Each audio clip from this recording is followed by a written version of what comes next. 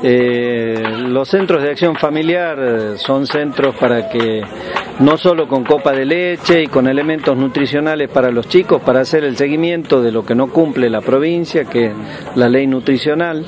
pero también con talleres de los derechos de los niños y niñas, talleres con derechos de la mujer, temas sobre violencia de género, sobre eh, también deportes para los chicos y para las mujeres y los hombres. Eh, nosotros decimos que la mejor manera de, de enfrentar el clientelismo, que es la esclavitud del siglo XXI, es la solidaridad. Así que bueno, llegamos a los centros de acción familiar sin pedirle nada a cambio a las personas, ni le pedimos la afiliación ni el voto al radicalismo.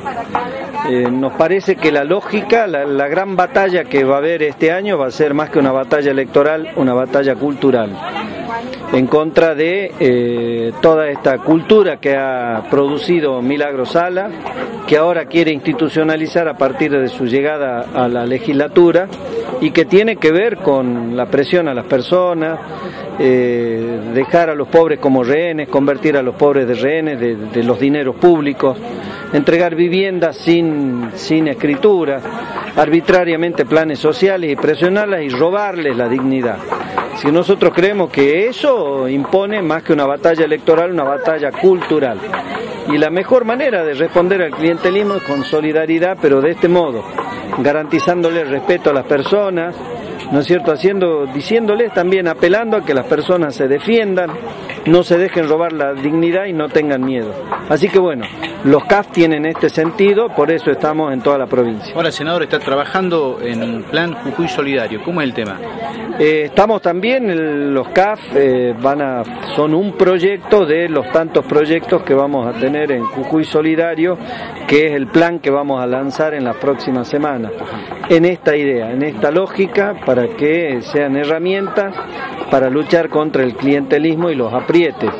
Eh, yo creo que tenemos que garantizar el respeto, la convivencia, la paz social, pero el respeto y la dignidad de las personas y la mejor manera de hacerlo es eh, llevar este tipo de acciones para todos. Como hemos dicho, acá tienen que venir los papás y las mamás y los chicos y las familias que sean peronistas, radicales, que no importa el credo, la religión, no importa de qué pertenencia, eh, tienen que venir todos y formar parte de, estas acciones que le van a servir a ellos, porque después nosotros nos vamos y se quedan ellos, viven los problemas que viven en el barrio y tienen que unirse. A mí me parece que esa es la lógica que hay que imponer, por eso eh, o hay que trabajar en, en Jujuy para recuperar valores y para recuperar especialmente la preservación de la dignidad de las personas y el respeto de las personas.